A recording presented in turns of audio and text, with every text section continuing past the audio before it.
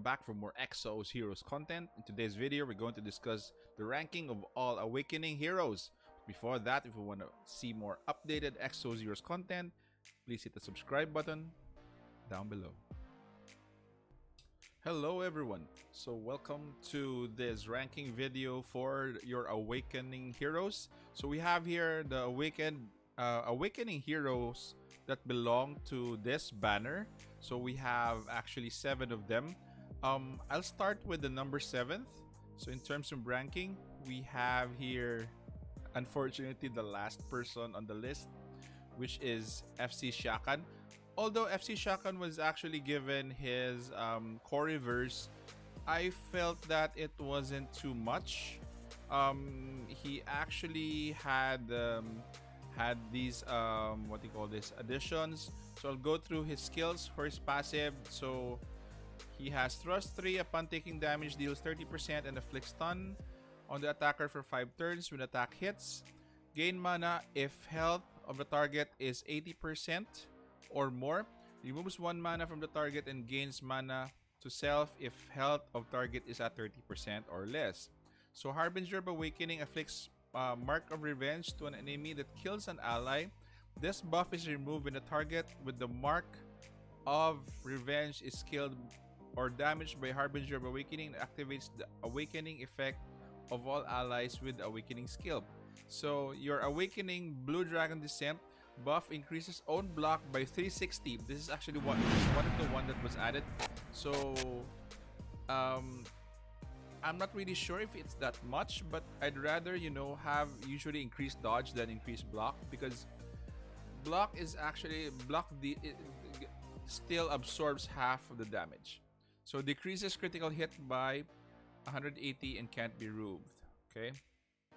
Increases attack speed by 25 and gains damage immunity for 4 turns when health is at or below 30%. So Blue Dragon Protection increases block of all allies by 150%. Sorry, this was the one who which was added uh, by 150% of own block for round one. For one round at the start of the round, remove when ally is attacked. So um, for this to work, actually, you have to increase his block. Um, awakening uh, awaken him with blue. Uh, guardian stones will actually do it. Was it blue? Sorry you don't awaken him with uh, with uh, what do you call this? You awaken him but you equip him i think with blue guardian stones.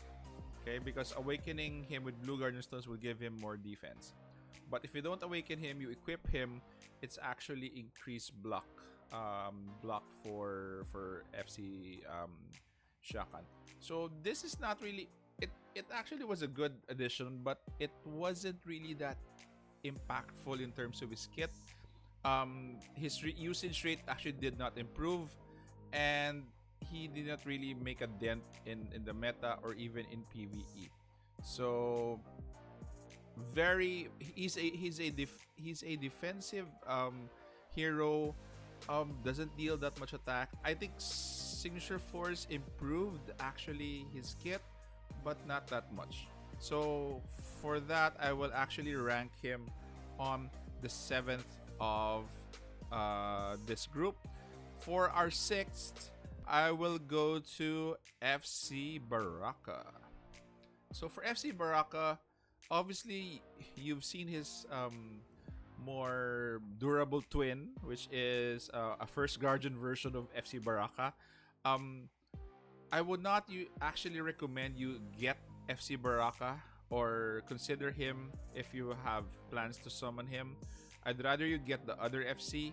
Um, he's not really he's actually okay, but he's squishy enough that you know you have to build him up that much. But the the the first Guardian version of Baraka is actually better because it's a blue fate core Plus, he has um, first dragon passive, which is a good um, barrier for his increased defense, um, increased survivability, and nothing really, nothing really special about this one. Um, the only, the only, you know, the only reason why you get this if you know you, you haven't, you haven't gotten any uh, the, the other one, the the the first guardian. But I would suggest that you hold off on the on him if you want to summon him or choose him because he you you will eventually get the other one anyway. Um, and he is actually pretty much sometimes dependent on Rachel as well for disheartened. Um, but again, he is he's he's kind of average, not really that good. Uh, in terms of you bringing her, uh, bringing him eventually, you'll actually look for a better character, a better version than this version. So on to our fifth. Our fifth would be FC Ramji. So I put FC Ramji on the fifth because again, he's similar to he is similar to um, FC Baraka in, in in a way that he also has a first guardian twin that I have actually uh, mentioned.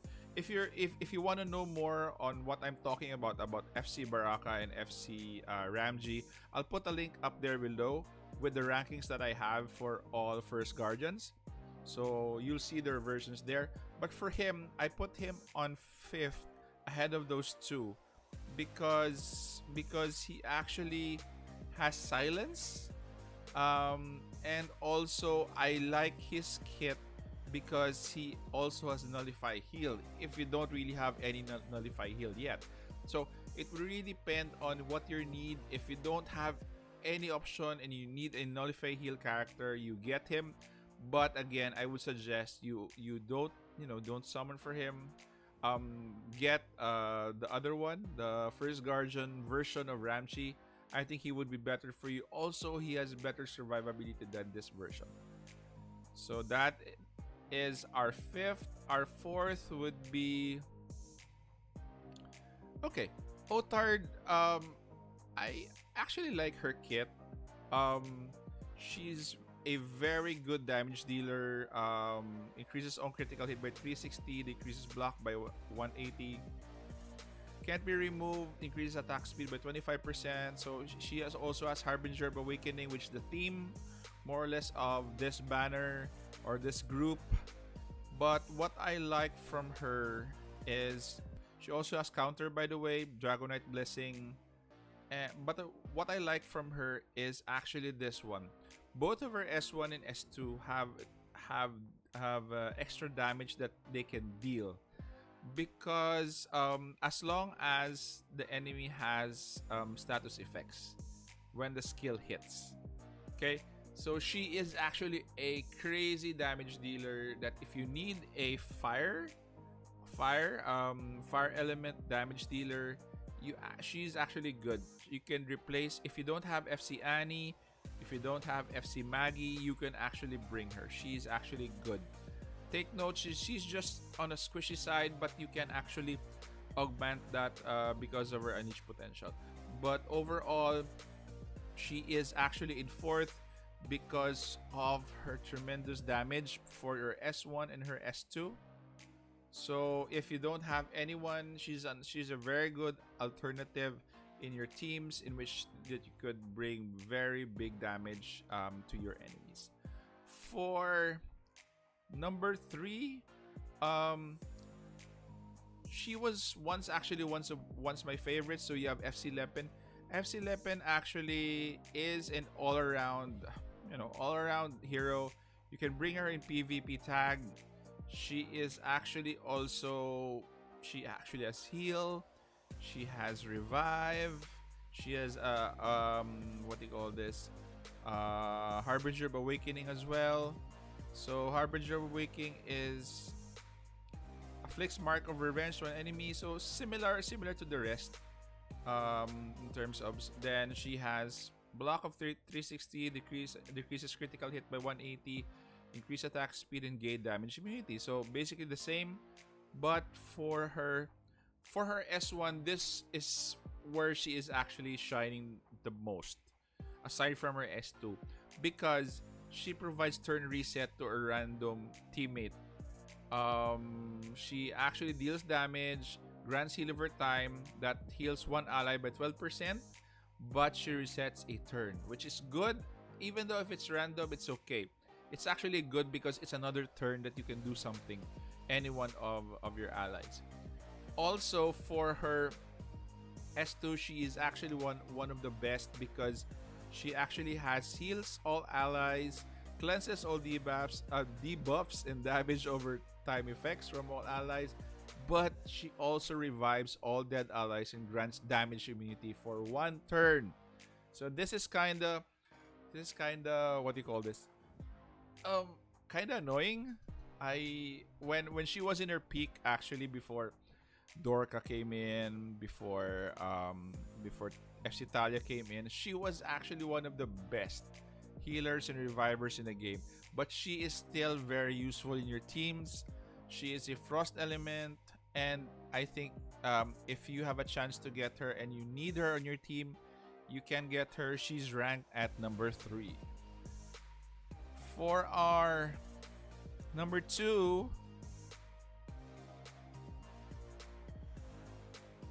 for our number two, we have FC Shufraken. Um, and guess what? Shufraken or Shufi or um, I don't know what, what the others call him.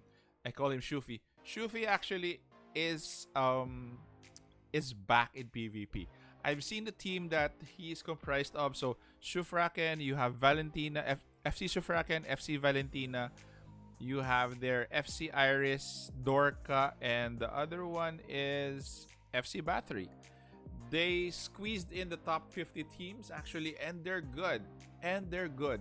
He's actually comeback king because Shufraken or FC Shufraken used to dominate PvP before, and he was so sought after that almost all the teams that you could see in PvP were full of Shufrakens. My god, Shufrakens. okay, so um, let's go over his kit. So I'll tell you why he is um, number two. He has Fear of the Abyss, so afflicts target with less defense than self with Fear of the Abyss. Mark targets with less than 10% health at the end of the turn deals 65 damage to all enemies in the same row. So that is why he was good.